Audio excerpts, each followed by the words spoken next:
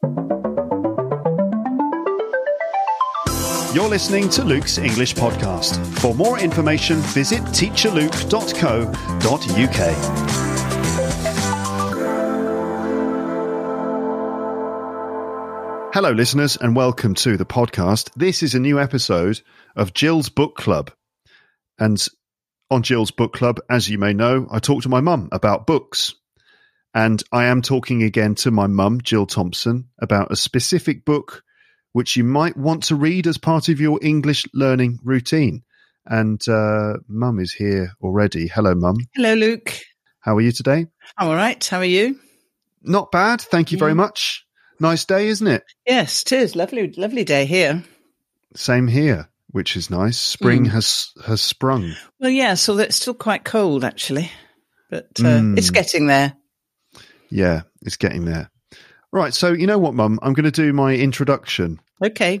just so that, well, you know, I normally do a 15 minute introduction. Actually, you know what? The last episode of this podcast that I recorded, Mm. I've just published it this morning, was an interview with um, Megan Oh, yeah. Brady. Yeah. She used to be Megan Davies. Yeah. And I actually recorded an introduction to that. My first introduction that I attempted was 45 minutes long. Oh, good grief. the reason is reason for that is that I just felt there were lots of things I needed to explain, lots of context Mm. that I thought my international audience of learners of English wouldn't know, Mm. and therefore there'd just be so many things they wouldn't understand in my conversation with Megan. So I felt I had to do this introduction, and time flies so fast. But I managed to edit it down. I like re-recorded it a number of times, and I edited it down to something a bit more reasonable Good. but there it is. Yeah. So anyway, I sp- um, the the Megan Brady interview has been published, and Well, I I just shall thought actually, bef- yeah, go on. I was just going to say, I look forward to hearing that because, of course, I re- it was my time. I remember the Applejacks very well. And what do you remember about actually meeting Megan? Was it kind of a a surprise? Yes, it was a surprise, and it was interesting to meet her. You know, as a just as an ordinary mum like me, even though she'd had that interesting background. Well, this is not going to be a forty-five minute No, introduction. I promise. Okay. Yeah, I'll get going. Okay. So, listeners, hello. Uh, Gill's Book Club, right? We're talking about books. And the book this time is all about the Beatles, which is a band from England that you might have heard of. So, the book, yeah, the book is called One, Two, Three, Four The Beatles in Time by Craig Brown. Now, listeners, you could read this book. And if you did, I'm sure that you would learn plenty of things, both in terms of language and general knowledge but there's no pressure to do so. If you like, you can just listen to this conversation with my mum, and hopefully this will be interesting and useful enough on its own. But if you are looking for a good book to read in English, then this one could be a good choice, and hopefully this conversation will help you understand the whole thing a bit more, which in turn should help you pick up more English from the book if you read it. So my advice is listen to this conversation with my mum, and if you're inspired, get a copy of the book and read it. Or if you prefer, just listen to us without feeling any pressure to read the book at all. Hopefully, this will still be enjoyable and interesting, even if you haven't read the book and have no plans to do so. Um, so, over 700 episodes, Mum, over over 700 episodes ago and 12 years ago, in the third episode of this podcast, Mm. I interviewed you about your memories of seeing the Beatles performing live on stage in the 1960s, which you did twice. Yeah, famously, yes. 1963 and 1964. Yes, you know, I'd completely forgotten that you'd interviewed me on that subject. Uh, I suppose, how, so when was that? How many years ago? That was 2009, April 2009. Crikey. 11 years ago, is that? It's 12 years ago. Gosh. Yeah. Okay. Well, and here we are again. Okay. We're, we're, we're going to talk about the band again, this time focusing on this book, Mhm. which is all about the Beatles phenomenon and their place in history. Exactly. That's why it's so interesting. Yeah. That's why it's so interesting. The, the book. Yeah. I, I'm still doing my introduction. Sorry, carry on. the plan is to review the book as a text for learners of English and then have a deeper discussion about the Beatles. So, listeners, you probably know that I'm a big fan of the Beatles and I grew up with their music as my parents were and still are, I think, fans too. For years, I've been thinking about doing more episodes about the Beatles story and kind of mentally preparing myself for it, but I have never actually got round to recording anything, mainly because the topic is just too big and there's too much to say. But finally, I have actually recorded some episodes that might scratch the surface of this topic a bit and hopefully will give you something insightful and interesting to listen to, whether you're a fan of this band or whether you, you know almost nothing about them at all. So this is going to be the first in a series of episodes in which I talk about Beatle related things. And uh, there's this one with my mum, and then a few episodes with another guest who is an English teacher and something of an expert on the Beatles and John Lennon in particular. So Beatle episodes are coming, listeners. And uh, I suppose for some of you, episodes about the Beatles are like buses. You wait ages for one and then loads of them arrive at the same time. And by the way, I'm certainly not forgetting the main focus of this podcast, which is all about helping you learn English. I think the Beatles can help you learn English. Reading is very important in learning English. And so why not do some reading about the Beatles? Plus, later in this Beatles series, there will be some language focused episodes using the Beatles as a context, focusing on some specific descriptive vocabulary and also some analysis of the Beatles song lyrics. So those are episodes that will be coming later in this kind of mini series I'm going to be doing uh, about the Beatles. Now, maybe you're not a fan of the Beatles. This is fine. I'm not going to try and convince you that you should like their music. That's a matter of taste. But I do think that their story is something else entirely. I think it's hard to deny the fact that the story of these four individuals the things that happened to them, and the impact that they had on the world. This is all simply fascinating, I think. It's an epic story. So even if you don't like the music, I hope you stay just for the story. So now let's let's start this episode of Gill's Book Club properly, talking about a recently published book about the Beatles. So, Mum, are you still there? You haven't fallen asleep? no, anything? I'm still here. Okay. All right, then. So, should we talk about the book then? Oh, well, yeah, I think that's the idea. That's the general idea, isn't it? oh, sorry, I've got a bit of a frog in my throat. Really? yes. It's causing you to cough slightly. Yeah. That's a nice English expression.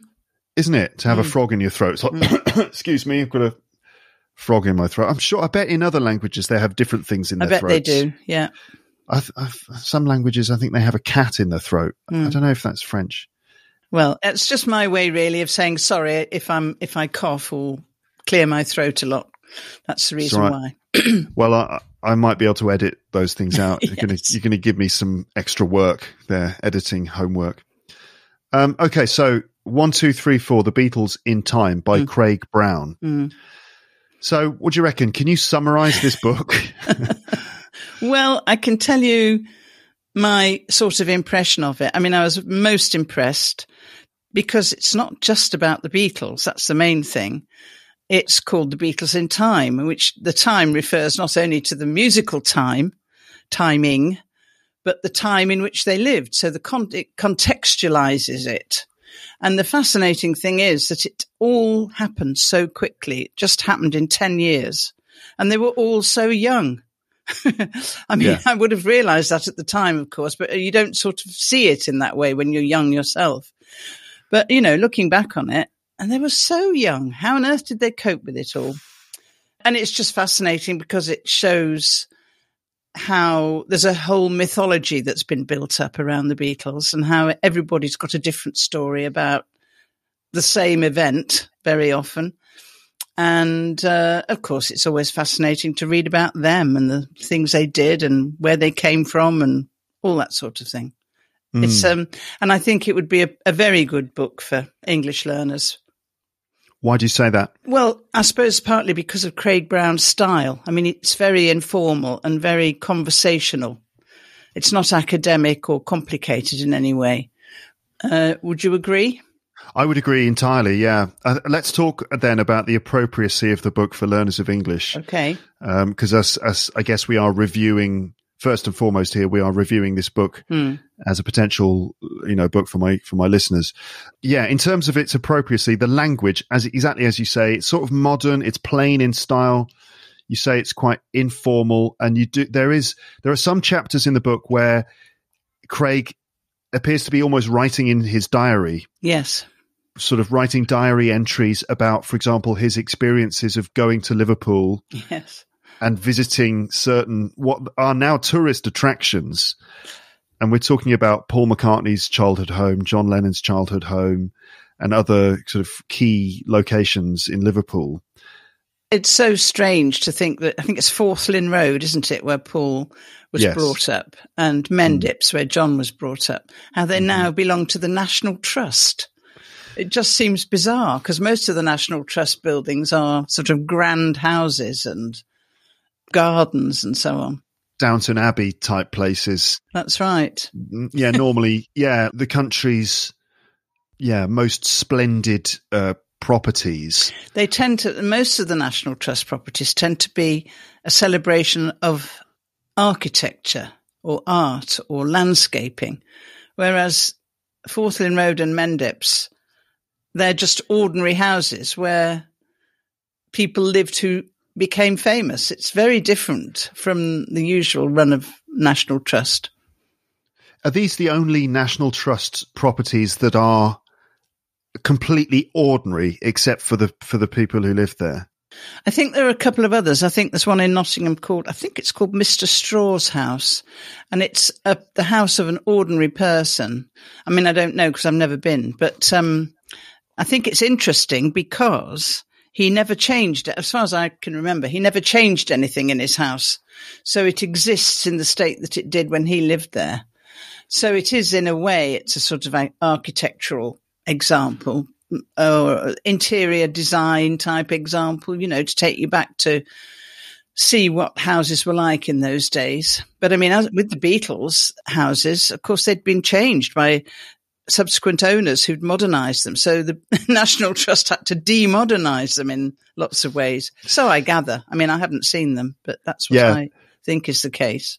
But going back to those chapters where Craig Brown is describing his Yeah. trip to Liverpool and visiting these these these houses, yeah, it's very funny the way he talks about how the tour guide points out certain things, like you know, this is the um, this is a teapot, Hmm. And and it's not the original teapot that Paul and his dad and his brother would have drunk tea from. Uh, but it's like the teapot. So he's kind of in this weird situation of like, here's a kind of replica, not, and everyone's taking photos Yeah. of this teapot, which was never used by Paul McCartney. Um, but it kind of close to being like the teapot that he would have used. And also like, you know, that, yeah, exactly. They've, they've made those houses look as close to how they would have looked. And people are kind of wandering around looking at them. I don't know. So it's like a recreation, but in the place where it happened. Yeah. It's very bizarre. It is strange.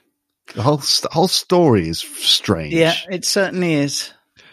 But anyway, so the Yeah. style of language, it's modern, it's plain in style. It's quite literary, of course, because it's a book. Mm. I mean, Oh, yeah. you know, books are the language you get from books is not exactly the same as language which is used in conversation and stuff, but still, Yeah, I Um, suppose so.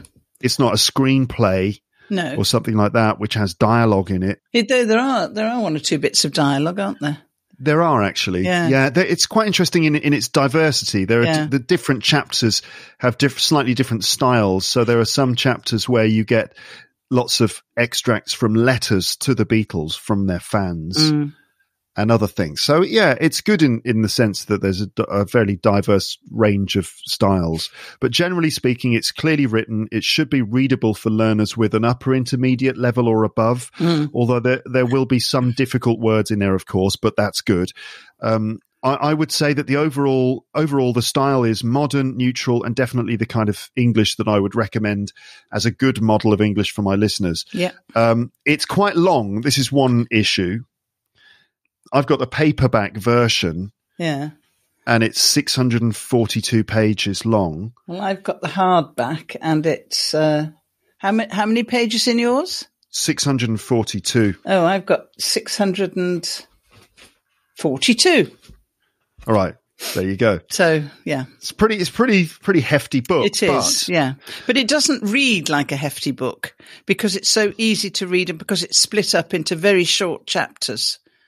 I just zoomed through it at the beginning of lockdown, you know, last year, about 14 months ago. Mm. And it's the last book I've been able to zoom through during the whole period because I've kind of lost my reading mojo during uh, COVID. But this one I read without any problem at all. Couldn't put it down. Short chapters Mm. um, are the thing. So even though it's long, it's divided into short chapters. Each chapter is only a few pages long. Mm. Some chapters are even one page long in some cases. And this, this does make the whole thing quite easy to digest. It's in bite sized chunks. You can dip into it and you don't necessarily have to read it in order. No, because it's that's another thing about it. It's not chronological, strictly chronological, like a lot of biographies are. Overall, I think it is generally chronological, although it shifts around. Mm. So it'll skip, you know, back a few years or forward a few years and stuff. But overall, I think the general sweep of it is quite chronological. The thing that struck me very strongly when I was reading it was the thing about Brian Epstein, the way he treats his life and death. At the beginning, he doesn't really say an awful lot about him at the beginning of the book. And then do you remember at the end of the book, there's like a sort of strange diary of dates Yeah. of things that the, the things that Brian was going through. Because that's another thing I learned, just how disturbed Brian Epstein was and how it destroyed him, really, the whole thing. yeah. So he's hardly mentioned really in any great detail until the end when there's this mixed up chronology um, explaining his death and how it came about and how paranoid he became. Is it not a sort of like a, a, a, a backwards uh, history? It's not entirely backwards. It, it No. jumps about backwards and forwards. Um, listeners, Brian Epstein or Epstein was the Beatles manager. And yeah, the thing about the Beatles story is that there are many stories in, involved. That's why I said it was kind of epic because it's not just the story of the four individual Beatles, but there are so many other people involved and you can follow like these people kind of enter the story and somehow the, um, the experience of being part of this whirlwind of the, of the Beatles changed people's lives and sent them off on some odd, bizarre, sometimes tragic trajectories. The Beatles story is is a yes, it's kind of a swirling storm of many people. Well, the Beatles story is like a metaphor almost, or a, it's the 60s, that decade from the early 60s to the early 70s, where everything changed, seemed to change so quickly and so strongly and radically. Yes. And, um, uh, you know, that's what happened to a lot of people at that time. And they are just a sort of microcosm of what was happening. It's it's a bit tricky to know whether the the Beatles were a, a, an agent that f- created some of those changes, or whether they were just part of those changes too. Mm. What, Bit what of you both, reckon? I think. Bit of both. bit of both. Yeah. I mean, that whole period is very interesting. And I don't really know enough about it to be able to say anything definitely. But things socially, things changed so much in that decade. And Yes. uh, of course, they were in the middle of it all. there are probably many factors that Mm. caused society certainly in england in america in you know in in in well i guess kind of the world really because the beatles were a global phenomenon but the, but anyway many factors that that probably brought about significant changes um one of them being um like uh television Mm. you know the the fact that it was possible to uh, broadcast Mm. um, you know, television uh, to many places. And in fact, the Beatles were the first, you know, they were part of the first international live televised broadcast Mm. In 1967 when they sang All You Need Is Love. Yeah. And it was broadcast all around the world I simultaneously. well. You know, so uh, interesting that the, the Beatles and TV kind of go hand in hand, but also mass media is, is basically what I'm talking about Mm. that mass media communication got to a certain point uh, where something like the Beatles phenomenon was possible. Mm. You know, like certain conditions came to came into being which allowed the Beatles phenomenon to happen. Yeah. And one of those things was yeah, mass media. Um, another one was was the uh, I guess the baby boom, the the rising birth rate after Mm. World War Two, which which um, Most of the fans were part of that generation. yeah, suddenly there were many more young people, right, Mm. and um, young people who whose parents had been through World War Two, and and the parents of you know, and their grandparents had been through World War One. Mm. The first half of the the twentieth century was a horrible, horrible Mm. time. Mm. Uh, you know, with the um, financial crash and you know everything that happened in the first half of the 20th century was just just terrible, really. Mm. And for the first time, you know, in the in, you know in the wake of World War II and and the, the the sort of I don't know the relief that spread around many parts of the world. A lot of young people grew up in that context. I mean, it's a weird mix of sort of peace and relief. Mm. I suppose, but also that sense that this could happen again, and you know the Cold War was in the background. I don't know what yeah, I'm, I and, know what I'm Viet- and the at here. Vietnam War in America. Yeah, That was um, slightly that was later than the start. Of, that was part of the Beatles' time, of course, but it it all happened a bit later. They came to prominence in the 1962, 63, the early 60s. Yeah, I mean it's a very very complex uh, subject. Must do some study on it sometime. mm, yeah, but I, I'm you know I'm sure that certain other things as well, like maybe birth control. I don't know if that had anything to do with it. You know, a sense of women's liberation. Hmm. You know what I mean? Like just certain social conditions, I think, were in place. Hmm.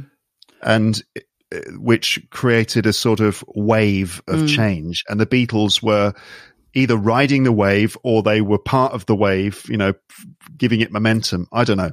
And there was um, employment was very easy to find as well in the early 60s. You know, you could just leave school and get a job. Yeah. And I suppose people had, young people had more disposable income. Yeah, I don't know. There's lots and lots of elements to it. Absolutely. And, you know, what was going on musically in America and, you know, even, even things like the invention of electric guitars Mm. Yeah. and, and how that had a huge impact and how rock and roll became a thing Mm. and amplified electric guitars. Mm. Uh, which had never been possible before, and that created a whole other kind of music. And it was it was music that could be played loud to large audiences of people, which created different forms of music, like dance music, rock and roll music, and also the way in which uh, records could be printed and distributed.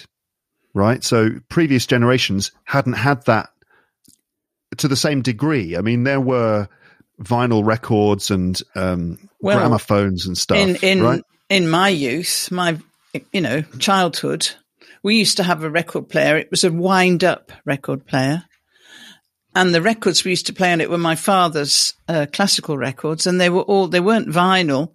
What was that stuff that they used to be made of? It was very heavy. Each individual record was incredibly heavy. Bakelite, I don't know, some weird material that you don't see it now. And the records were extremely fragile. You had to be careful with them because if you dropped them, they'd break. And uh, vinyl didn't come in until, oh, I don't know. Well, certainly about the same time, you know, end of the 50s, early 60s, I suppose.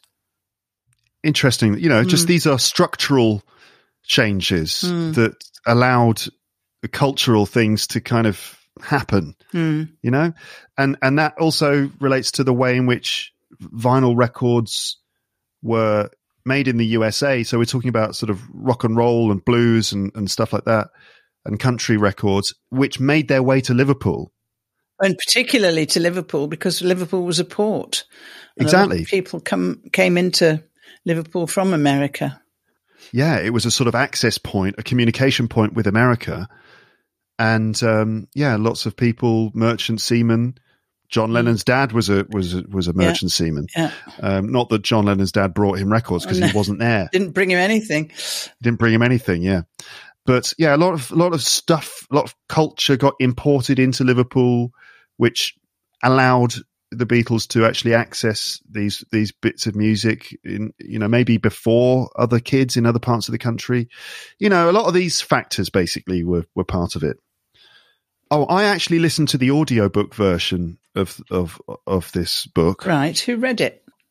Uh, different actors, Ah, which is I love that in audiobooks when Yes. you get a, a cast of different Mm. um, voiceover artists.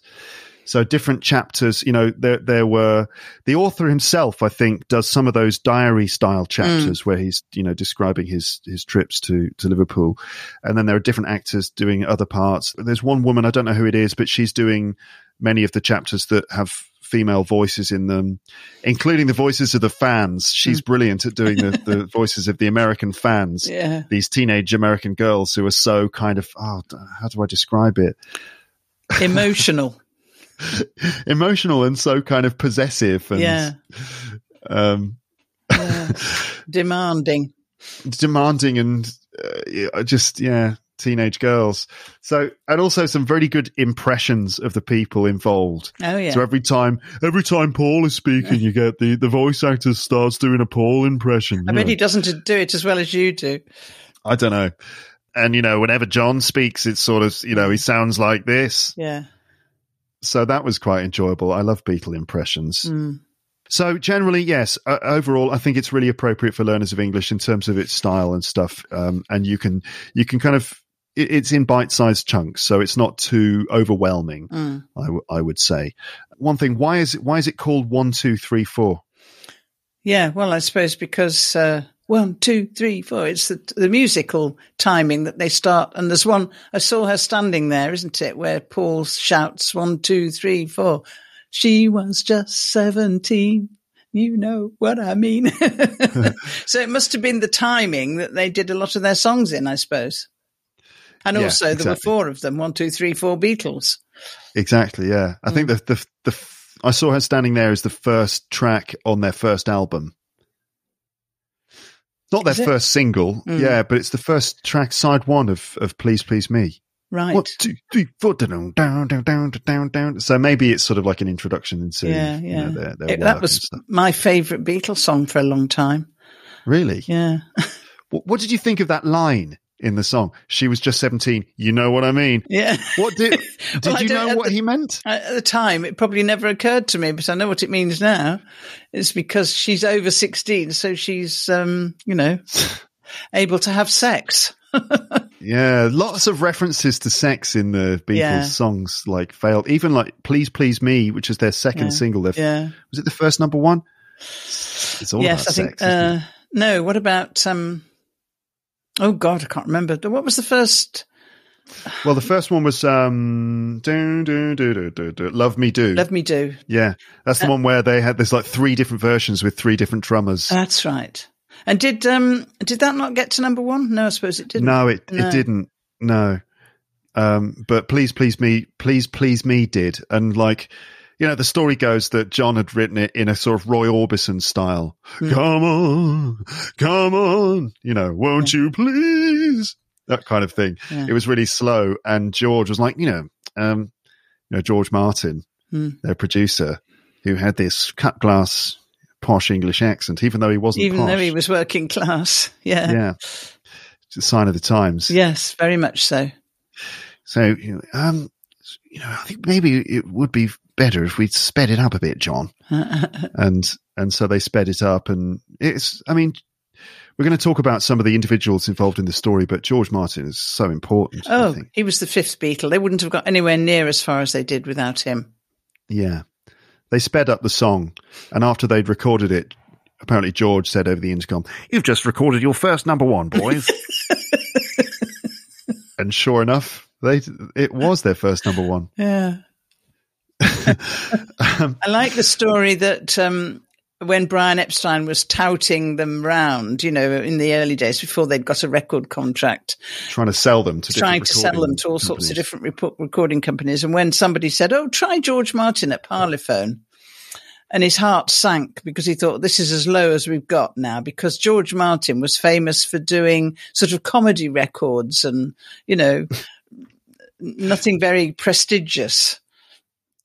Yeah, he, he recorded the Goons, Yeah. the Goon Show, which now, with the benefit of hindsight, is an incredibly significant Yes. thing. The the Goons, which were this comedy trio who did radio comedy shows, they're a hugely influential Yeah. and really significant um, moment in British sort of popular culture. Mm.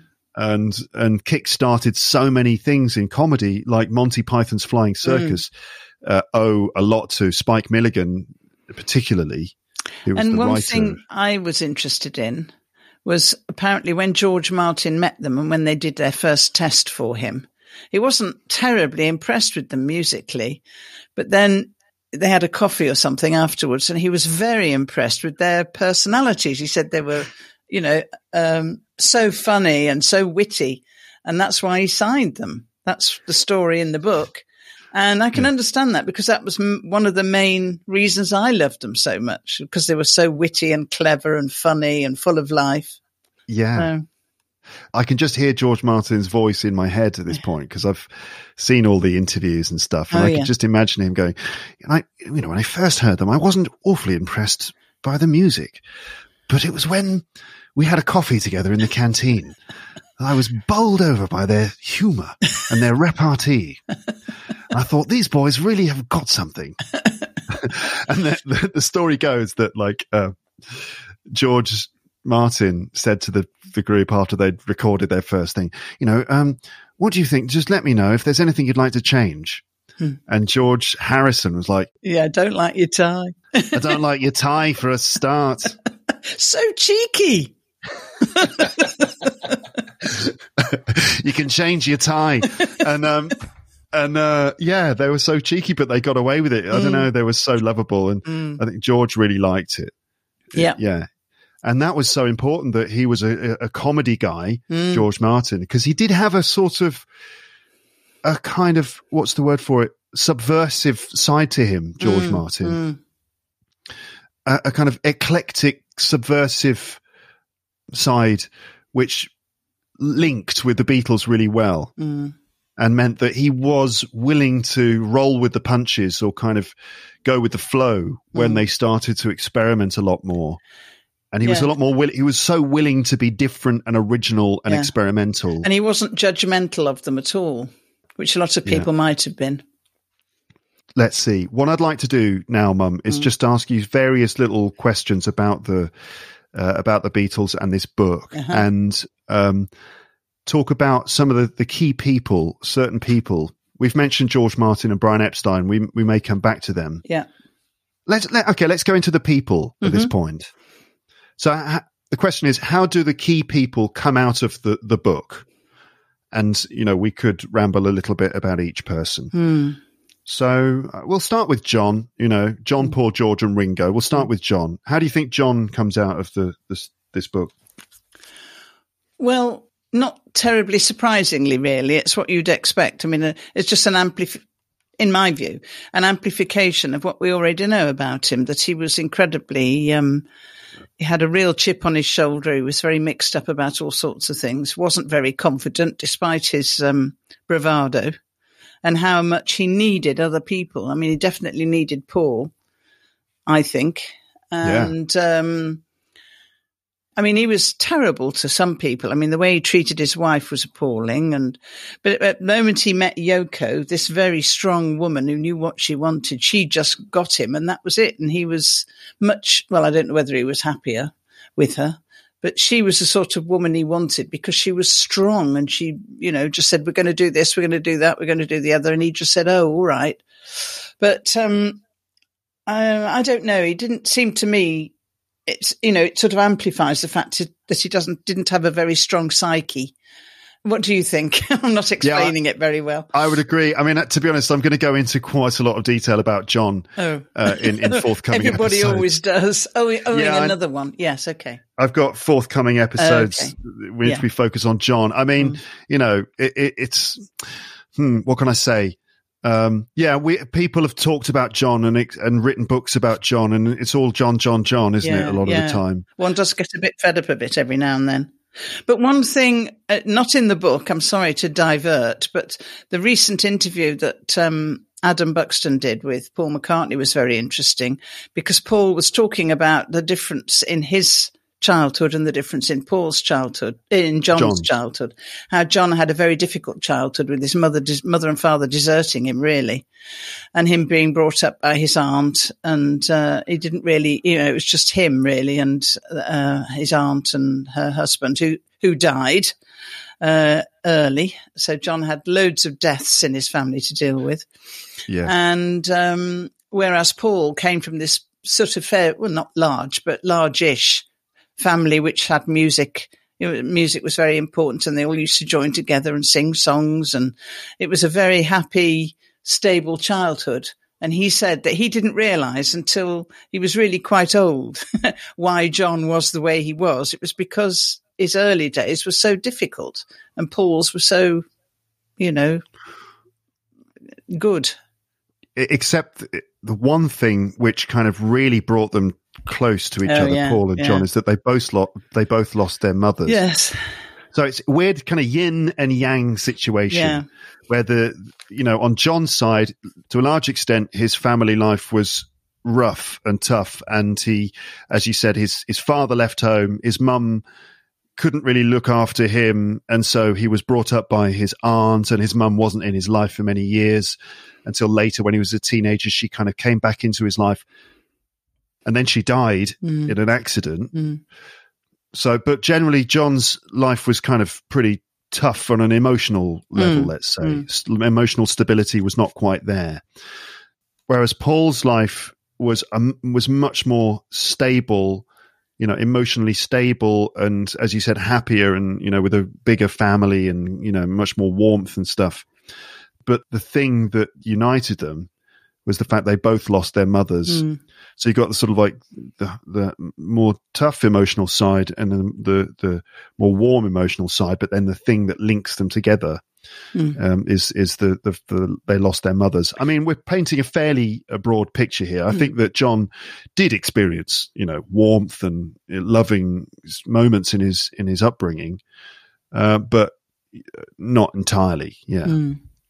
But I mean, John, I mean, if, you know, just saying things about John, I mean, you know, when you start to talk about his psychology and his life, it all seems very kind of rough and tough and miserable. And that was definitely present in his life. But for me as a fan and for, for many other people, the version of John that we see in his songs and in his interviews and other things is, is different. And it's, he is so funny Mm. and he has a sort of charisma Oh yeah, and he had a voice like the way he used to speak. yeah. He was very articulate, very intelligent, and um, he could kind of grab you with his with his voice. Oh yes, I was very impressed with him in the early days. Something fascinating about listening to him. He's one of those people that you just want to listen to, Hmm. and he had a he had a way of putting things. Yeah. So yeah, a, a complicated character, as we'll explore on this podcast Yes. soon, in some in some. Yeah, at better some leave length. it for that one. Not Yeah. keep your powder dry for that one. Yeah. What about Paul then? What about Paul McCartney? because, you know, he's arguably more fascinating than John. Yeah. Because, you know, we haven't really explored Paul in the same way that we've explored John. Well, no, I mean John gets all the attention for all the reasons we've said, but also because he died young, of course. So we have no idea what he'd be like now if he was the same age, if he was still alive now, same age as Paul. You know, what would he be like? It's very hard to tell. And what what would his experiences post the age of forty have been like? What would he have done? And and um, it would have, you know, it would have been very interesting because Paul is, has got more and more interesting as he's got older. I think Mm. Certainly. so. We'll we'll never know really with John. That's the thing with people who live live young and die young, because he, you know, he'd been through a, a lot of pain and suffering in his life, and it seems as though he was just coming out of all that when he was killed. So Mm. we don't know, but he might have carried on being a complete nightmare. yeah, it would have been interesting. Yeah. But Paul, yeah, Yeah. very interesting character. Sorry, I'm doing the voice again. I know. Um, Yes, it's, it's uh, he is. He is fascinating, and uh, it, uh, by all accounts, is a decent guy. You know, interesting, and uh, you know the famous story of my brother bumping into him in a shop in um, in Sussex in Rye, when he Yes. was really nice and friendly and normal. Yeah, which is a good. It's a good sign, isn't It it? is, that like yeah. Nick just was in the shop. He was in the queue. He noticed there was something going on. I think Paul was Paul was talking. his card had been refused, or there was some issue with payment. Oh no, I I, thought know. it was. He heard a voice behind him, someone talking on their phone. Uh huh. turned round and it was Paul. I don't know. I can't remember. But apparently the end result was that Nick turned around, realised who it was and said, Oh, hello, Paul. you know, the way you would, because you feel as though you know these people. and, and instead of being all hoity toity, Paul said, hello, you know, what are you doing here? And they had this conversation about birds and photography and things. Really pleasant. Yeah, I think yeah, exactly. That, yeah. Oh, I'd love to meet Paul McCartney. Mm. And just you know, I, I would try not to be like, oh wow, Paul McCartney, you're so important in my life. Instead, I'd be like, all right, Paul, how are you doing? Yeah. You know, yeah. Yeah, yeah. He seems to be. He seems to make an effort to, to keep his feet on the ground and to be a normal person. The one bit about Paul's life, which I, which was good in the book, was um, in the early days when he was going out with Jane Asher. And of course, Jane Asher was very well known, and I, I thought Jane Asher was wonderful. She was a young actress when I was young.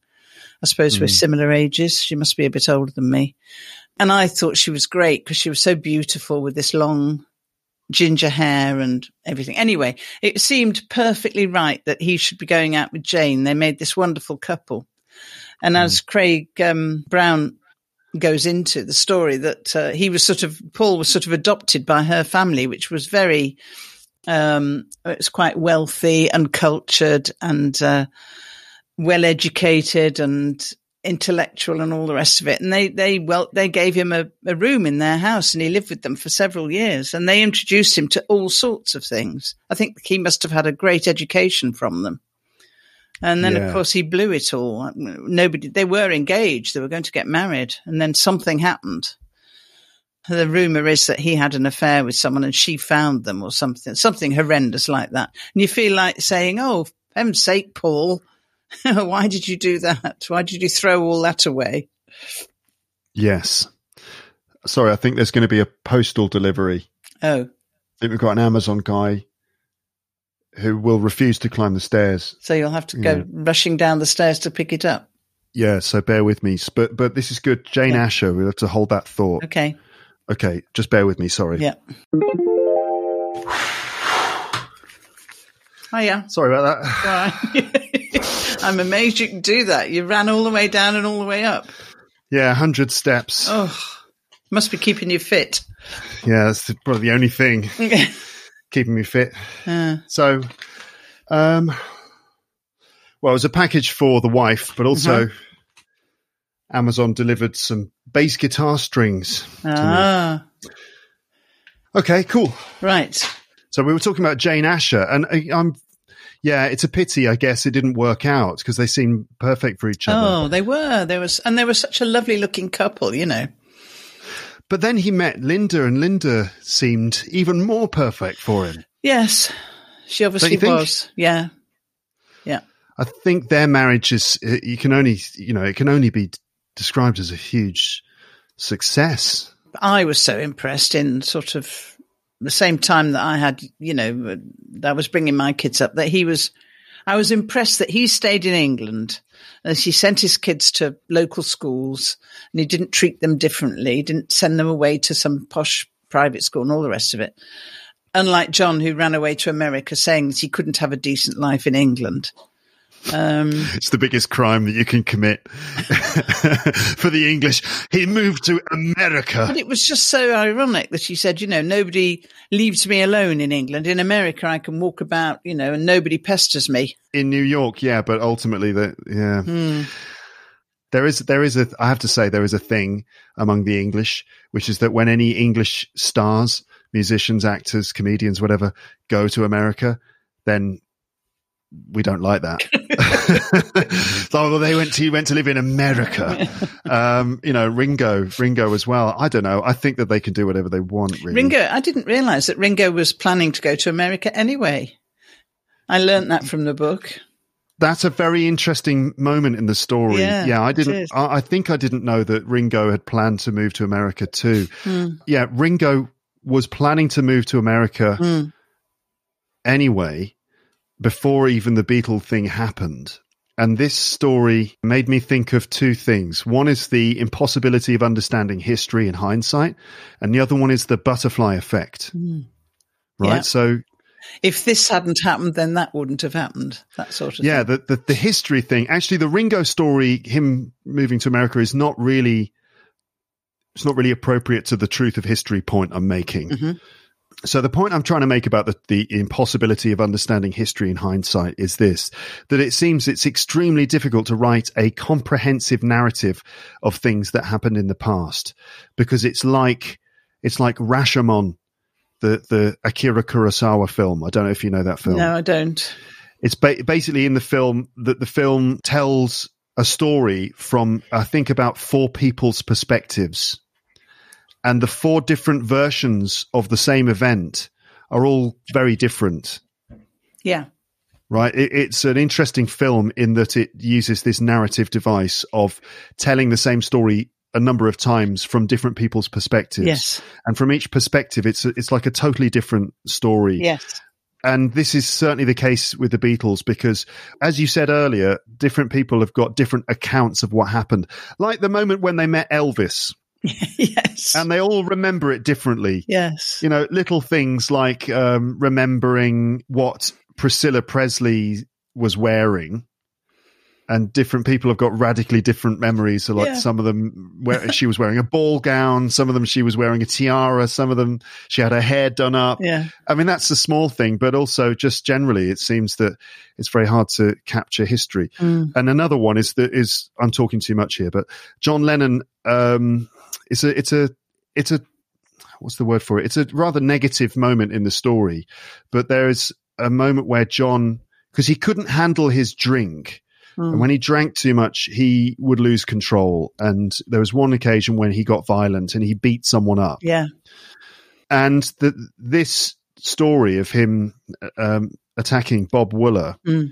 which John, you know, really regretted later on, and uh, you know, arguably he was he didn't know what he was doing because he, he'd been drinking. Not that it's forgivable, but anyway, he assaulted a guy, Mm.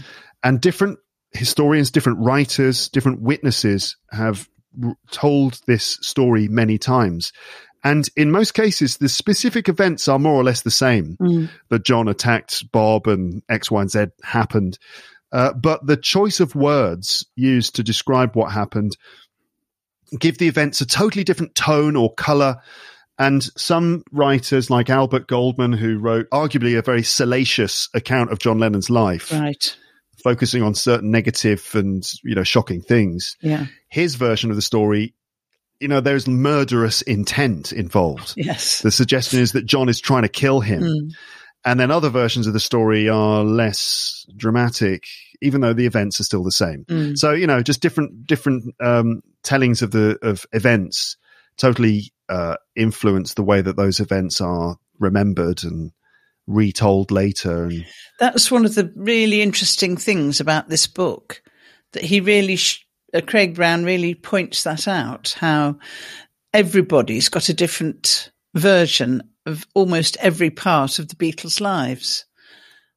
Um, and he, by, he illustrates that by, you know, giving the different interpretations in some cases. And it is fascinating. I mean, it starts out, of course, with the, all the guides in the, um, the Beatles' houses telling a certain version of their childhood. And then when they're contradicted in any way, they get very cross because their version of the story is the right one and they won't accept that maybe there are other versions of the story. yeah, like history, history or events are like multi-dimensional, Mm, you know, like three dimensional, let's say. But whenever you tell an account of something that happened, it makes it two dimensional. mm, Do you, do you know what I mean? Yeah. Like, like in describing uh, John Lennon's upbringing, and you do it in a few sentences, you end up saying that he had a tough upbringing, that there was no emotional stability and stuff like that. And it's not in, not the full story because I think that to some extent he did have a loving family to an extent. Well, me, it seems as though Mimi was very good, and she, you know, she was a very stabilising influence. And his uncle, Mimi's husband, by all accounts, was uh, a great influence on him. But of course, he died while John was there, so that must have been another shock. Every John must have started thinking that everyone he loved was going to die, you know, any minute. Yeah, well, uh, Paul McCartney has said in interviews that Paul that that John told him that he believed that he was cursed, mm. that John believed that he had some kind of curse on him, mm. um, especially over the male members of his family, that mm. everyone, any kind of people that got really close to him would die. And so, yeah, again, we're talking about John, but hmm. um, a, uh, an interesting character that on the surface he had some level of kind of you know control and stability but then under the surface with john he was so vulnerable so sensitive so insecure mm. and and maybe this is what sort of makes him quite a compelling person that those insecurities and vulnerabilities come through quite quite easily and it comes through in his voice and his in, in, his songwriting and, and things like this. And this, this is the thing that makes him very kind of engaging mm. for people. That it's quite easy to latch onto him emotionally. That, that there's a lot of emotional expression or need coming through. And it's again, it takes me back to that interview with Adam Buxton and Paul. How Paul saying, you know, how he realised why he realizes now why John was the way he was, and he also regrets that he's not. He said, you know, if John had still been around, he would have had conversations with John. Now they're older, saying, "Look, I've looked back on. it. I realise now what all this was about." You know, and because uh, you don't, it's only when you get older that you you certainly realise what things are about and why people do things. It's such a shame that you have to wait until you're old before you understand these things. And he said, you know, that he would, if he was there now, he'd just give him a big hug. You know, but he couldn't do it then when they were younger because John would have had a fit. But um, you know, it's it's very sad that yeah. whole thing. Anyway, absolutely. The other thing, and this is what relates to the to the Ringo uh, planning to move to America, oh, yeah.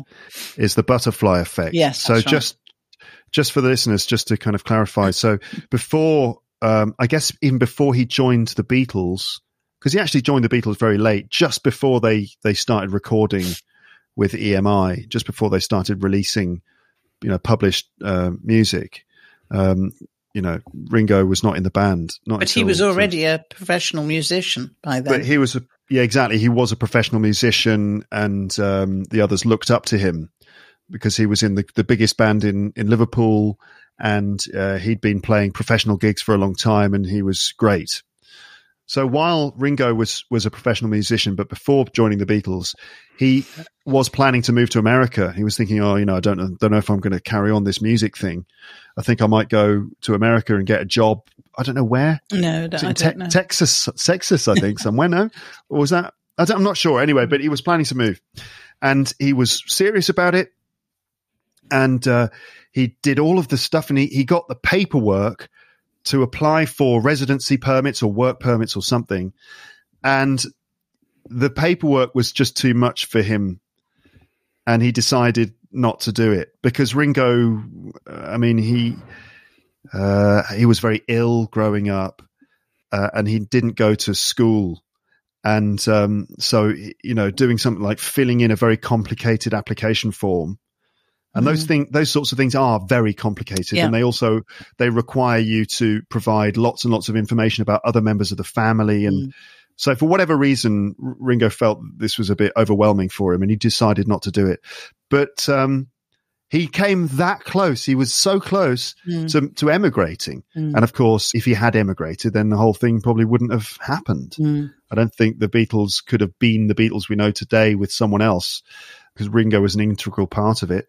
But the butterfly effect. So what I'm saying is that tiny, seemingly inconsequential moments have huge, long lasting ramifications.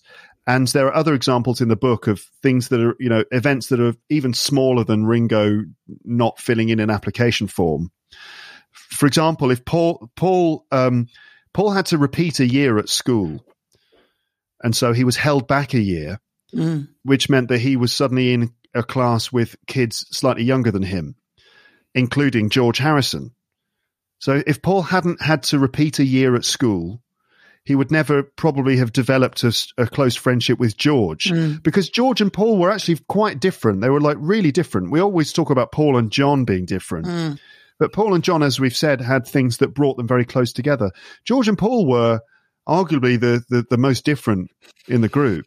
We haven't talked about George yet. No. But anyway, like they, they did become friends just maybe due to proximity, the fact that they were in the same class, they took the same bus, and they were into the same kind of music. So if he hadn't been in the same classroom as George, they might not have bonded as, as friends. Yeah. And George would probably never have joined the Beatles Mm. right? And similarly, the thing with Ringo. So, you know, little moments, little events have huge consequences. It's just weird. That's right. Uh, that's the butterfly effect. The idea that a butterfly flaps its wings, and the the effects of the flap of the wing cause exponential changes through time and space. yeah. Everything has consequences. Yeah, that cause history to just go, you know, change shape completely. Yeah. I mean, we can all think of things like that in our own lives, can't we?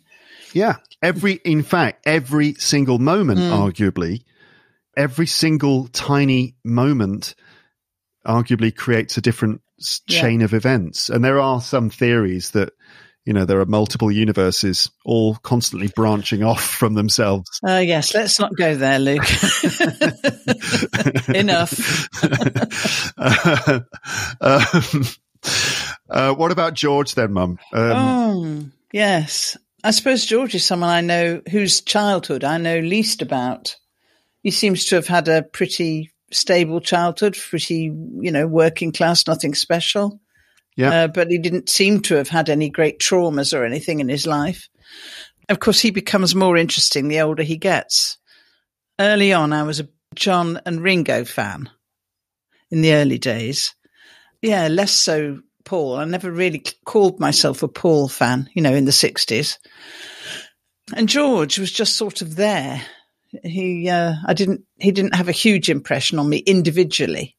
But as, as I've got older and as he got older and got into more interesting things, I've been more and more interested in him. And I, I think, you know, he's possibly my favorite now because of his spirituality and his interest in India and the fact that he got he became friendly with the Monty Python lot and he financed a lot of the handmade films, you know, the Monty Python films and oh, various films. And my uh, Alan Bennett film, Private View, I think was a handmade film. And uh, so that part of him, I think, is fascinating. Yes, certain things happened in the mid 60s that kind of opened George's mind. Mm. Uh, and I've heard people say that before, I mean, you know, before he, he took LSD uh, and then kind of got into, um, uh, into Indian spiritualism, Yeah, Hinduism, Uh, isn't it? Hari Krishna. Yes. Tra- let's let's say before he got into transcendental meditation, Yeah. he was kind of like although he was cute and and and funny and charming like uh, you know like they all were he was a little bit what's the word for it is it is callous the right word Well, he was famously uh, very keen on looking after his money because he was the one who wrote Taxman. He hated the fact that they were taxed heavily in the um, Harold Wilson government because Harold Wilson had a super tax, you know, for people who were very wealthy. Um, and uh, George famously hated that and was very keen on protecting his money and that sort of thing. Yeah so so arguably he was a bit of a stingy sort of person I don't know. That's the don't know, story. I wouldn't. I think it's fairly reasonable to Yeah. try and you know protect your to protect your interests like that. You know, Yeah. uh, it's probably not fair to just then say that he's a miser and a stingy No. bastard or anything. Um, but what am I trying to say? That that George had a habit of being a bit blunt and a little bit um, insensitive and a little stubborn. Yes, But he maybe. had this. He had this side to him. Well, he was famous for um, fa- one or two things, but uh, interestingly, Craig Brown wrote a book about Princess Margaret, which is equally well written as this one. Um, but George appears in that because um, Princess Margaret was famously rude in that it, when she went to um, events, you know, functions and things, people weren't allowed to sit down and eat until she did.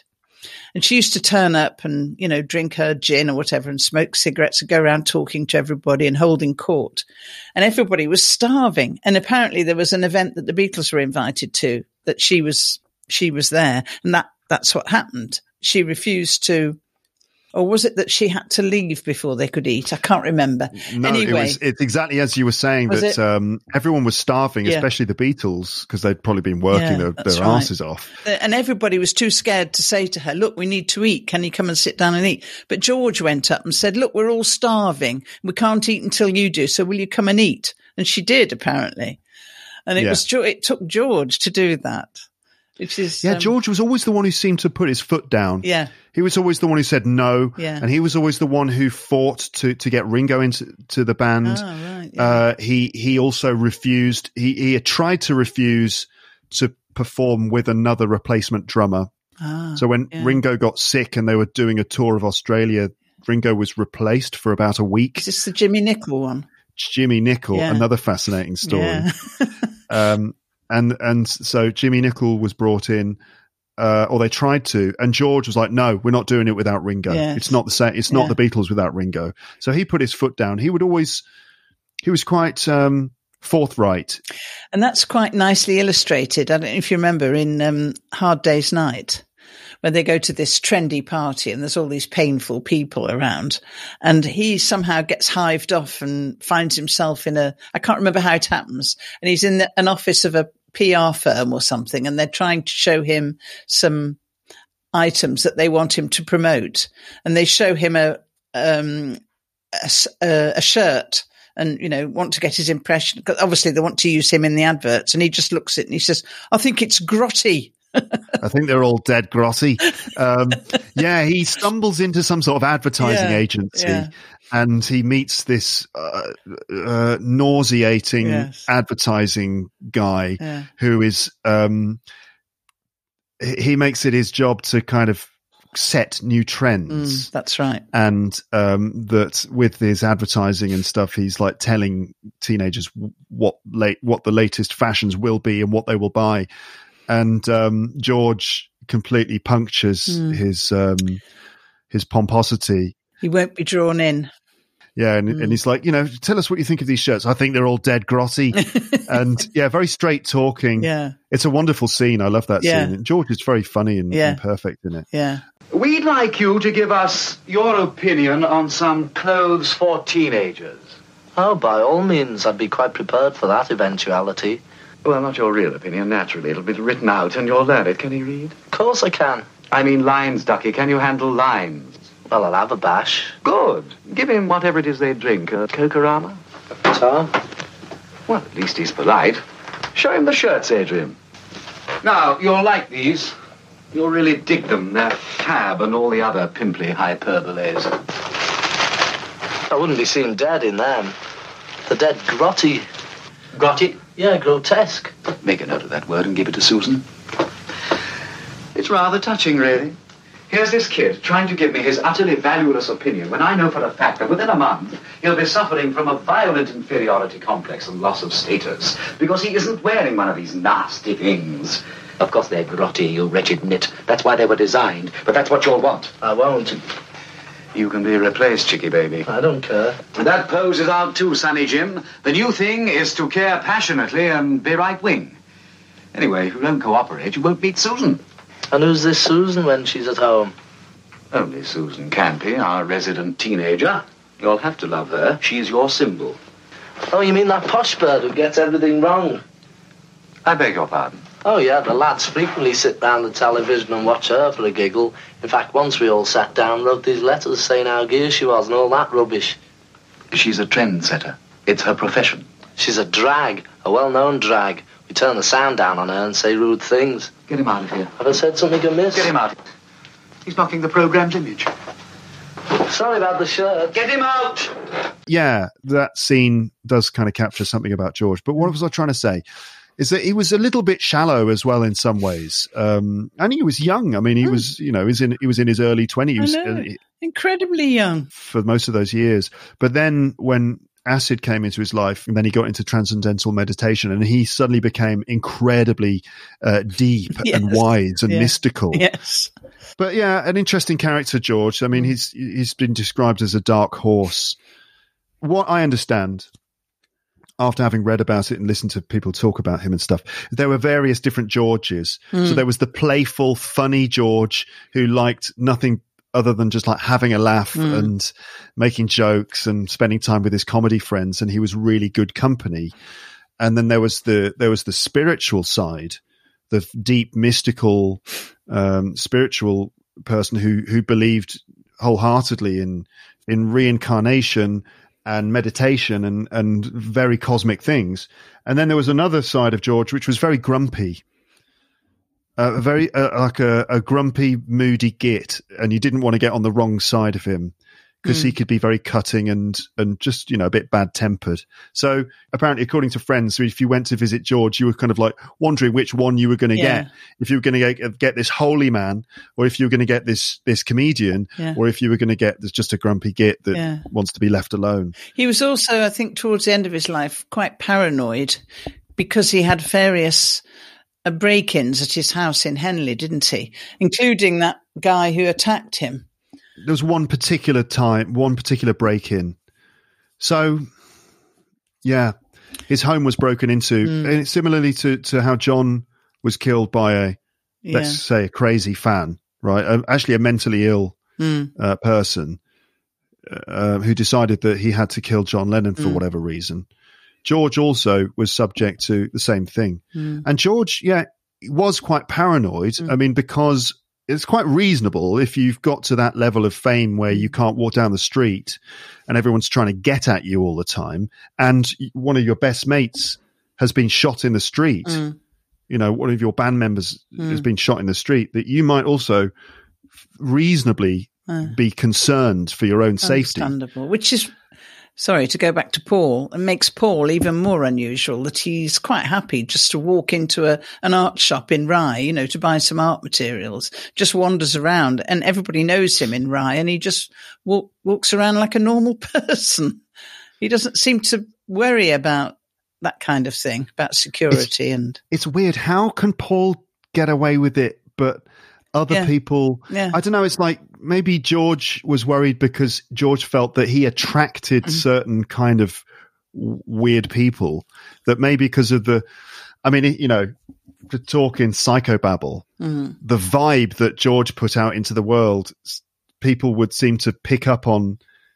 On that, uh, odd people would seem to pick up on it, and that maybe he was scared that he would be attracting kind of odd people to him for whatever reason. It's it's a it's a weird thing. There is some paranoia and and darkness in the story, you know. Oh, um, yeah. when you get into that stuff. But yeah, George, uh, a, a person broke into his home in the middle of the night, and the guy was um, in on some. He was not on drugs, but he was experiencing some kind of psychotic episode, and he was convinced that George had to be killed. That he was um, a wizard uh, of dark magic or something, something really horrible and scary. And um, apparently, George was in bed with his wife. He heard a noise. George, uh, George's wife's mum was staying with him at the time. oh yeah, And apparently George was like, "Oh, I'll go and sort it out." Being a kind of macho Yeah, yeah. alpha male, yeah, you know, like I'm the protective man. I'll go and I'll go and sort it out. And this guy was in was in the house, and apparently there was a statue in their home with a the statue had a blade a spike, and the guy had grabbed this blade, ah, and George he attacked George and stabbed him a number of times. but it was his wife who fought him off, wasn't it? O- Olivia Yeah. came to his rescue. I mean, it's a horrific story. Oh God, it must have been appalling. O- Olivia sort of jumped on the guy's back Mm. and was hitting him, and, and she managed to grab the, the, the weapon, and she attacked this guy with the weapon, Mm. trying to defend her husband and herself. And you know, there must have been a lot of blood and a lot of a lot of injury for ev- in, for everybody. Terrible. And, I mean, it didn't kill George. He survived, but he, he was weak anyway because he, he had been diagnosed with cancer. Yeah. And, you know, people say that this was such a shock and such a physical shock that Must have um, exacerbated it. it exacerbated his, his condition. And yeah, he, he did pass away a few years after that. Mm, But oh my God, you know, two out of four, I know. two of them just Yeah. murdered by Yeah. people. And that, that's, that's just how, how, how big and how, how weird it all got. Yes. Oh, yes. It, it, it was incredibly weird. I, I want to keep talking to you about this, Mum. I feel like there's so much more that we haven't covered. This is May- what I was saying in the introduction that I've been wanting to talk about the Beatles. There's so many stories and things, but um, but it, it, it's too big and I can't handle it. I'd have to do a whole other podcast just about the Beatles. Mm, And I can't do that because there are already enough of them in the world. There's Yeah. loads of Beatles podcasts. yes. So I don't know. What else? Do you want to add anything else? We could we could keep talking. I mean, if people want to stop, they can just stop. We can keep going. Well, the things I liked reading were some of the little incidental things like coincidences about people who just sort of touch their lives in a tangential way. Uh, For example, the most amazing one is the man who killed John Lennon's mother by accident. He knocked her. She walked in, uh, allegedly, she walked in front of his car. He was an off duty policeman. He was only young. He wasn't a full policeman. He was just a probationer, I think. And he wasn't he wasn't drunk, which is No, a no, no. thing that this is a sort of one of those things that a, a myth that's come Yeah. out that the guy was drunk. He wasn't drunk. No, he wasn't, and he wasn't speeding. Apparently, I think she must have. Um, part of the blame for the accident was probably down to her. She probably wasn't looking where she was going, or something. Who knows? Anyway, the fact is that the person who who- whose car hit her and she died afterwards was a young probationer probationary policeman, and of course he lost his job after this happened. The police sacked him, and afterwards he became a postman and he delivered fan mail to Paul McCartney's childhood home, Forthlin Road, when he was a postman. Isn't that weird? And and the account that this guy gives in the story is that every time he approached Forthlin Road Hmm. and Paul McCartney's dad's house to deliver post, he would think about what happened with John's mum, Yeah. the, the the the the car accident that Yeah. had happened, Awful. Uh, and in fact, the guy never he kept it a secret Hmm. Must have from done. his yeah. from his family. Oh, really? He never told his family. I don't know which chapter is that in the Oh, book. I'm I don't afraid I know. can't I don't know. But anyway, yeah, it turns out the guy never told his family Yeah. and he kept it a secret all these years. Yes. I don't know how I don't know how the story ends up in the book and where the information comes from, whether Craig Brown actually found this guy and interviewed him. Hmm. No, Uh, I I don't, don't think know. so. I don't know. But yeah, but, But- that's a weird weird thing, yeah, Yeah. that the, the he ends up going to Paul's house every Paul. every day, yeah. delivering fan mail to Paul. And um, and another little thing about that story is that do you know the date on which John's mother was killed? Uh, no, I don't. Fifteenth of July, 15th of July. which is my birthday. It's your birthday. Whoa, Hey. everything's connected, man. Um, and another one, just a little tangential one, doesn't mean anything to anybody, but I just liked it, was um, their last concert on the roof of the Apple building. The young policeman, who, again, a policeman, was sent up to find out what was going on and try and get them to stop the noise. Um, he was a young probationer as well. His name was Ken Wharf. And later in later life, he became the personal protection officer of Princess Diana. Really? Yes. He was the personal protection officer of Princess Yeah, Diana, her security guy- guard. Yeah. Isn't that amazing? yeah, I mean, is it- amazing. It's not ch- life changing or anything. I just, I just think it's fascinating. but again, you know, Princess Diana, it is interesting. Another kind of person, uh, public figure Yes, exactly. who, who whose fame uh, arguably um, Destroyed her. destroyed her in Yeah. some in some respects. Yeah, I, I wanted to talk about um, different people in their lives. Yes. I mean, And uh, I was going to say Jane Jane Asher. We talked about her before. Paul's uh, Yes. uh, fiance in the during most of that time. one thing that is interesting about her is that she has never ever given any interviews. She's Exactly. never talked about what happened. And I guess she deserves respect for that, that she's kept her privacy Mm. And his. And his especially. Yes. That she, out of respect for, for Paul, she has never Mm. sort of dished the dirt. Absolutely. I have great, I, I, I think she's, I mean, I always thought she was great and I, that's just, mm, you know, increased my admiration for her really because she could have made a lot of money out of it. She could have made herself famous, you know, she could have done all sorts of things with the stuff that she must know. Um, but she's never mentioned him, as far as I know, she never mentioned him at all.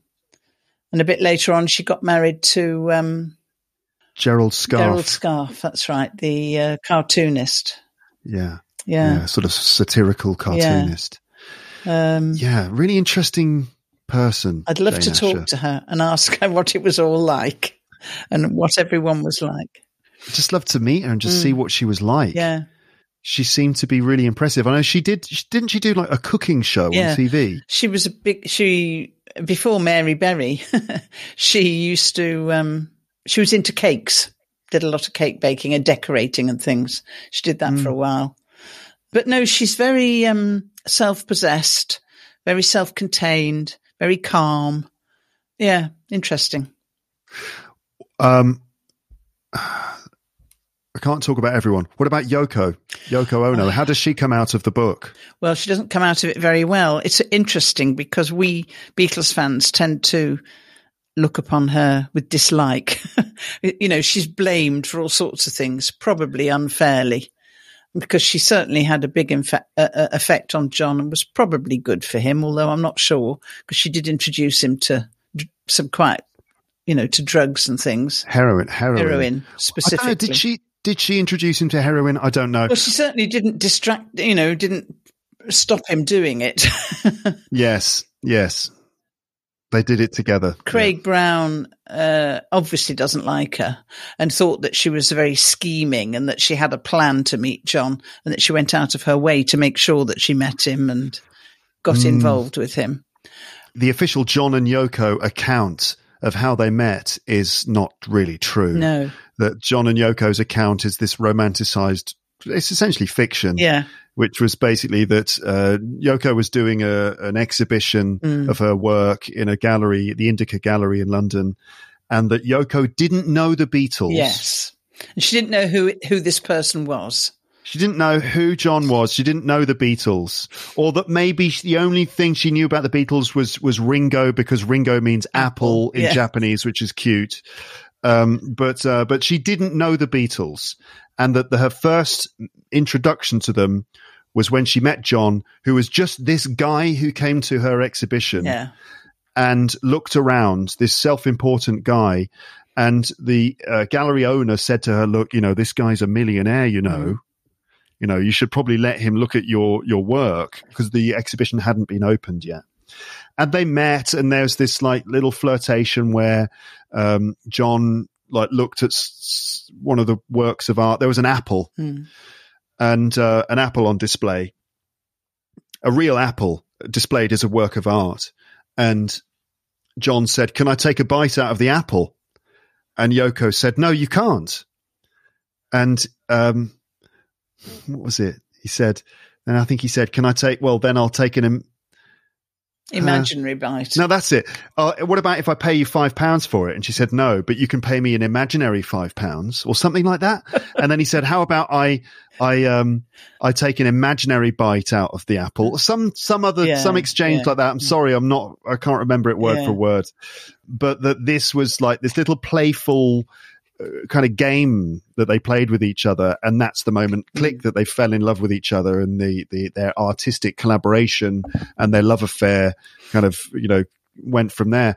But the fact is like yoko knew who the beatles were and in fact she'd been trying to get funding. She'd been trying to get members of the beatles to to uh, contribute some money to something. And hadn't can't remember what she tried to get in touch with one of the others? Yeah, first of all, she knocked on Paul's door. Ah, yeah. She knocked on his door and said, "Hi, you know, could you uh, off, uh, you know, provide some funding for Yeah. this project?" And Paul, I think, sort of said no, but he said, "You know, you might want to speak to John. Sounds Yeah. like the sort of thing John might be interested in." Yeah. And um, and then she was trying to get to John, and uh, first of all, as far as John was concerned, well, this is what he said to Cynthia. Mm. Cynthia was John's wife, and she's written about this in her in her book. Uh, that uh, John said, "Oh, she's just a crazy fan," Mm. to, to Cynthia. And there was one moment where John and Cynthia were getting into the back of their car, their limousine. Yoko jumped in the car too. Right, she literally threw herself into the car, and I don't know if she sat between them or something, but it's something kind of um, symbolic Yeah. that she leapt into the car too. And John was like nonplussed, like looking at Cynthia, like, "Huh? I don't know what's going on." Mm. And um, and this is before. I think this is before he actually went to the exhibition, and then they kicked off their relationship properly. So it's something that it wasn't quite as simple as Mm. the, the the story that they told. So yeah, yeah, Yoko doesn't come out of the book very well, No. and Craig Brown sort of suggests that maybe even as an artist, she was Yeah. she was she was not really a great artist, and that she ripped. and that she was very wealthy in, in her own right. And, uh, you know, that her husband and her family and everything were financing all these artistic flights of fancy that she had. So she didn't even need the funding really, but that she, I don't know, she, she just wanted to meet John and she went out of her way to make sure that she did. And that John, to begin with, was just irritated by it because she kept pestering him. That's the impression that Craig Brown gives anyway. Yeah, I mean, the case against Yoko is that she was um, not a very good artist, that she kind of uh, didn't even have original ideas, that a lot of her ideas had been done before, and that she was just a spoilt, rich Japanese girl who just wanted to be respected as a great artist. And she used John Lennon to kind of give herself a platform. And she she controlled him, and sort of that she even introduced him to heroin as a way of controlling him and other things. This is a very mean, um, like version of, Yeah. of the story, and I'm sure it's not quite as simple as that. Yeah. I mean, I think he, Craig Brown probably suffers from the same Confirmation bias, Yeah. confirmation bias. that we have always thought that she was to blame for the breakup of the Beatles and that, you know, she wasn't good for John and all that kind of thing. And it's, um, it's not necessarily the full story. You could also argue that John was using Yoko, Yeah. that he used her as a means of controlling um, the, the situation. And when I say the situation, I mean the situation in the Beatles Mm. and just generally his life. That he kind of took Yoko as this extraordinary, totally different thing Mm. and used her for sort of leverage as a way of like kind of trying to get some level of control over the craziness that was in his Mm. life and as a way of like levering himself out of the situation. Mm. I think John, you could argue that John was um, almost in a state of of emergency in some ways, Mm. Oh, yeah. uh, men- mentally and in his life, Yeah. especially as everything had fallen apart after Brian Epstein, the, the Beatles manager, had died, and John was like really badly, sort of mentally screwed up. I think yeah. with with um, the fact that he'd been taking too much LSD and that Mm. he was in a he was actually at a crisis point. There is a specific moment when I think like he took a a, a, a trip with Derek Taylor, um, one of the sort of members of staff who worked at Apple and a close member of the group. Um, Derek Taylor describes this moment where John and Derek took acid together and they took too much or John took too much Mm. and he, he, he his his ego you know his his psyche started to kind of unravel and break down and he got to the point where he was he totally lost himself and he'd lost faith in himself and he he he was so low and down saying i'm rubbish i'm crap i'm nothing Mm. i'm not even a great i'm not a great artist i'm rubbish is how bad he felt Mm. and derek had to kind of reprogram him Mm. that that night you know and sort of say to him, "You're no, you're a great artist. Look, you know, and show him his work and say, look, this is what you did, and and you are strong and you're somebody." Mm. John was in a terribly fragile state, Mm. and I think that he didn't have control in his life. Mm. Especially as Brian had Brian Epstein, the manager, was an interesting character because, in a, to an extent, John had kind of some level of control over Brian Yeah, because so it was a Brian very interesting relationship between those two. Brian loved John. Uh, Brian was gay, and I don't know if even being gay was anything to do with it, but I mean, Brian was completely he was quite obsessed with John, and he he loved him very much. And I think that John had some odd level of control over this situation. John was very manipulative. Mm. He was able to take situations and control them, and he kind of uh, was a you know with Brian in in charge. John felt like he had an agent looking out for his interests in a in a to an extent. You know. Mm. I think. Uh, and then when Brian died, that was gone Mm. and everything kind of fell out of control. And Paul kind of stepped in because Paul was growing in confidence Mm. more and more. Mm. And Paul stepped in and started to control things and musically became a lot more dominant. And John, you know, it, it really kind of freaked out, freaked John out. And maybe he was using Yoko Mm. as a way of kind of upsetting the situation and manipulating the situation to, you know, that's why he brought her into the studio Yes. Yes. and stuff like right. that. So it's not just Yoko, No. it was John as much as anything else. Terrible situation, really. Yeah, I mean, the- you, you definitely get that from the book, the, just the pure madness Mm. Oh, of, absolutely. of the Apple Yeah. period Oh, when they set up this company to try and avoid tax and Yeah. stuff. Absolute Mm. nightmare. Everything just went completely haywire. So Oh, there's so, so many other stories which we can't tell, No. but I would love to tell the story of, of the Maharishi and what Oh, happened no, with him. uh, that's for another one. It's another story for Yeah. another time. Maybe we can come back and do this again. okay. All right. It's time to stop. I think your visitors will be getting your sorry, your listeners will be getting very fed up. No, they won't. Yeah, some of them might, but they will have just stopped. But others are like, no, no, no, no. I don't want this to stop. I promise. There are some people who are thinking that. But anyway, Okay. Mm. okay, you're right. We must, we must stop this. Uh, Mum, thank you very much for talking to Been very us. enjoyable. Yeah. Um, and, uh, let's talk again soon. Yeah. Okay then. All right. All right. Take bye, care. bye for now. Bye. Take care. Bye.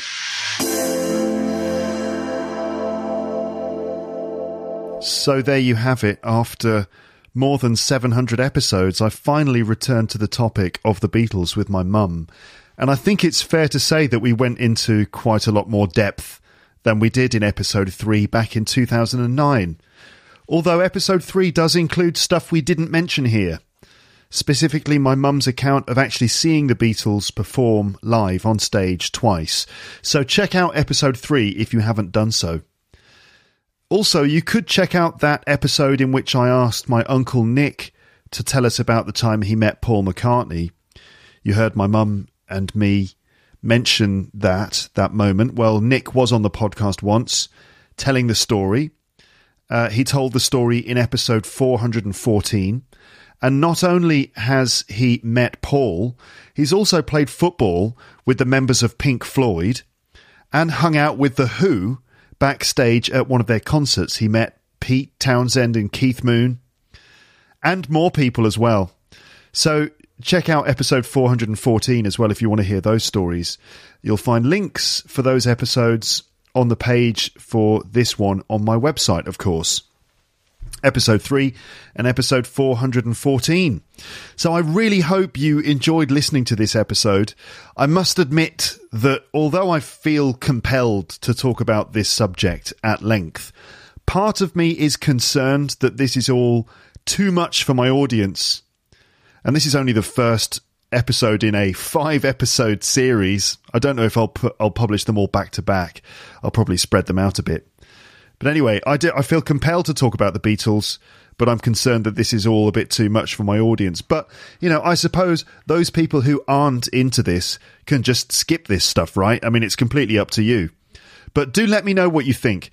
Remember, anytime you have any thoughts about what you're hearing on this podcast, if you have responses or comments in your head as you listen, you can express them in English.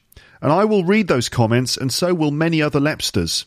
And the best place to leave your comments is on the page for the relevant episode on my website, teacherluke.co.uk. Uh, go to episodes in the menu and find the relevant episode page. Scroll to the bottom, and that's where you'll find the comment section. I am curious to see what you think. Any Beatle fans, get in touch, all right? And, you know, add your thoughts and stuff too if there are any things you'd like to add. Uh, non Beatle fans, I want to know what you are thinking. Remember, sometimes doing this podcast is a bit like talking into the void. In other situations where I talk to people, for example, if I'm a teacher in a classroom, I can actually see the people I'm talking to and I get a sense of what they're thinking and their what their reactions are and if they are falling asleep or you know if they've got questions and things like that. If I'm doing stand-up comedy and I've got an audience of people in front of me, similarly, I am constantly like, you know, looking at the audience and just kind of like trying to read the room. But doing this, I mean, I've been doing it for over 12 years now, so I should be used to it. But still, doing this, you do always get that feeling that you're just kind of talking into into the void talking into um, a sort of just a dark, empty space, although there are thousands and thousands of people on the other side listening to this. But it's, it's quite an odd feeling. I've talked about this before. I just sit here in my room with my microphone and my computer. Most of the time, I'm on my own unless I have a guest. But anyway, I'm always curious to know what you're thinking. Okay, I won't talk much more at, at the end here, except that, of course, there are millions of things I wish I could have mentioned or talked about in this conversation. Um, here are some things that perhaps we didn't talk about. So, we didn't talk enough about Ringo, and I feel like there's plenty of other things that could be said about, about Ringo. And there are also loads of other people and events I wanted to mention. But I guess, you know, there's only a certain amount of talking that can be done in one single episode anyway about the Beatles and their story. As I said twice, it's epic.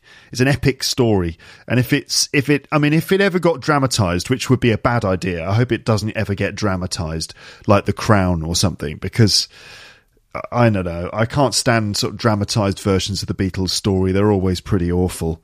But if the, if it ever did get dramatized, it could be a sort of a a ten season epic um, TV series, I don't think it needs to be dramatized. You can just read the books and listen to the podcasts and watch the Beatles anthology and stuff. And, you know, that's the, the, the real drama is, is in the history of it. Uh, but anyway, there are loads of other people and events that I wanted to mention, but I suppose I can always come back to those things. I hope I didn't talk too much. Uh, this is a conversation with my mum, but I think I probably spoke about 65% of the time. But I mean, I said that to my mum afterwards, after we'd finished the call. I was like, oh dear, I think I spoke too much. I spoke more than you. And she said, yeah, but you know, it's your podcast, isn't it? So I suppose it's okay. And yes, just in case this wasn't quite enough rambling about the Beatles on this podcast, remember there are four, count them, four more episodes on the Beatles to come. And probably others in the future too. Okay, but hopefully those episodes will be different enough to justify this series. It's not just going to be, well, it, there will be some rambling, but also there will be specific takes on this topic and language focused stuff too. Uh, four more Beatle episodes coming. One is a discussion about John Lennon with a, a sort of a Beatle expert. I'm going to call him a Beatle expert. I mean, a John Lennon expert because he's read all the books, he's done all the interviews, and I mean, the guy has even spoken to people who were friends with John Lennon, people who worked with him and stuff. So I've got a conversation with him coming up, a discussion about John Lennon, and then another two with the same guy are language focused.